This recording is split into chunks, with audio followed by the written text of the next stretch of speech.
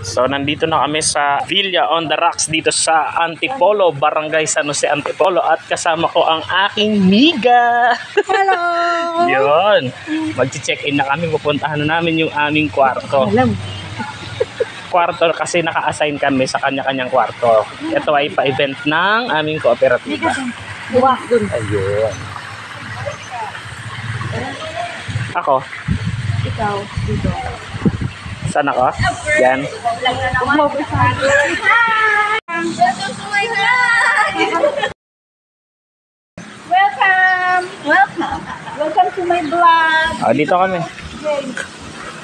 Sige. Yung pinto na yon may hagdan sa kanan. Loro? Oh, sige, nandito. Nandito na rin ako papunta sa aming kwarto. Ang pangalan doon ng kwarto namin ay Loro. Tingnan natin.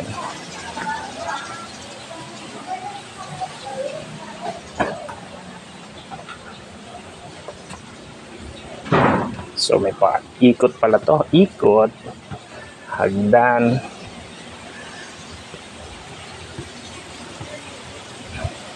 At may bilyaran. Hmm.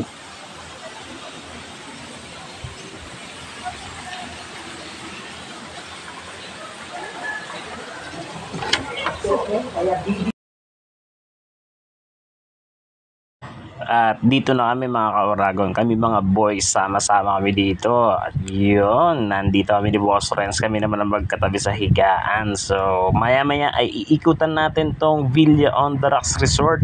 Ilalagay ko lang tong aking mga gamit at ayusin ko lang yung aming higaan.